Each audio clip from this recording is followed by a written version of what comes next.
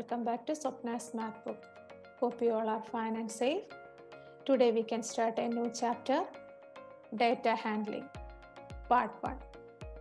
In your day to day life, you might have come across information such as marks scored by the students of your class in the mathematics unit test, number of storybooks read by each of your friends, etc. The information collected in all such cases is called data. Data is usually collected in the context of a situation that we want to study. Sometimes data is represented graphically to give a clear idea of what it represents. Do you remember the different types of graphs which we have learned in earlier classes? First one is pictograph. Pictorial representation of data using symbols are called pictograph. See this example. Number of students using different types of transport in a school. Bus, car, walking and bicycle. And one smiley represents three children. See number of students using bus.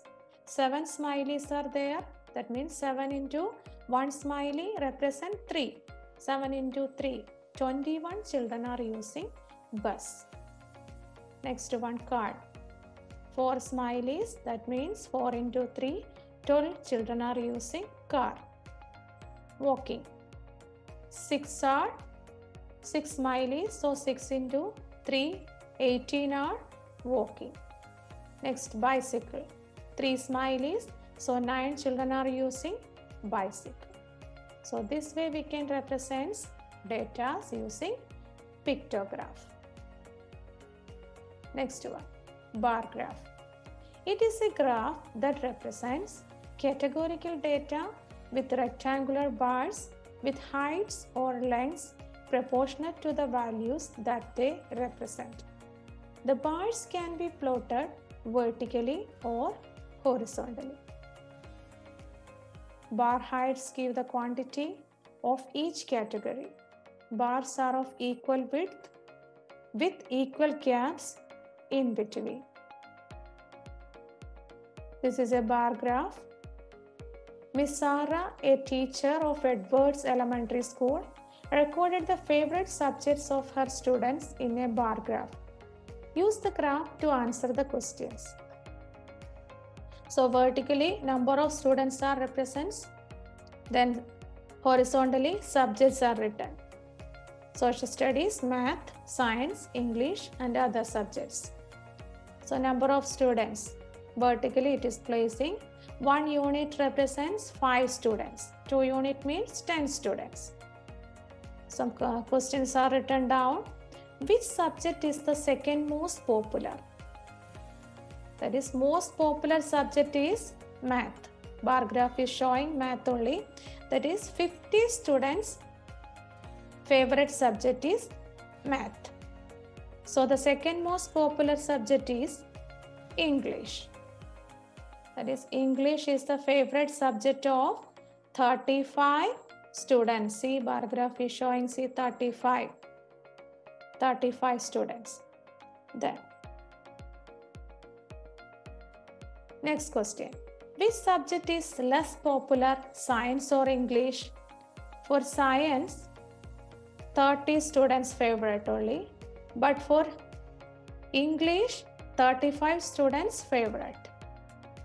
So which is the less popular comparing to science and English? Science is the less popular subject. Next one.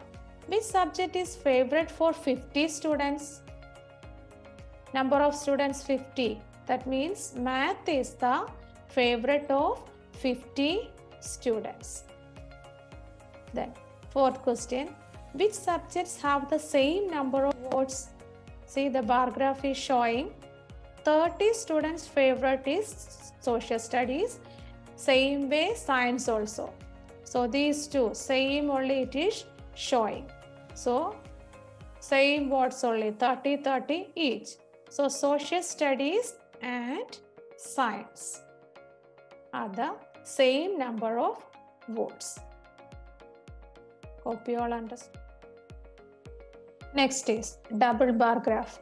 A bar graph showing two types of data simultaneously. It is useful for the comparison of data. See one example. Vertically, scores are written. Horizontally, four students, names also written. Scores on the practice test and the test. So here, Ariel scored 60 marks in practice test and 70 marks in test. So Ariel scored 10 marks more in test. So this is the comparison of practice test and test. The next, Sai scored 75 marks in practice test and 90 mark in test.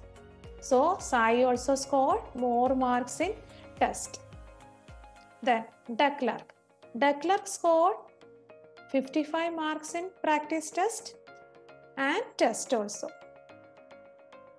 Then next Tara. Tara scored 80 marks in practice test and 95 marks in test. So Tara scored more marks in test. So this is, this is very useful for the comparison of data. Hope it is clear. Now we can do one questions in the question in the textbook. Draw an appropriate graph to represent the given information. Month and number of watches sold. July 1000 watches sold. August 1500 watches sold. September 1500 watches sold. October 2000 watches sold. November 2500 watches sold. December 1500 watches sold. Now we can draw a bar graph. See this. Vertically, number of watches sold is written and horizontally months. So July 1000 watches sold. So one unit represent 500 watches. So July 1000 watches sold. Here only bar, bar is showing till here. Then August 1500. September again 1500 watches sold. October 2000 watches sold. November 2500 watches sold. December 1500 watches sold. So November only more watches sold and uh, July only less watches sold. So this is the best way to represent data using bar graph. Hope it is clear. We can continue in the next class. Thank you.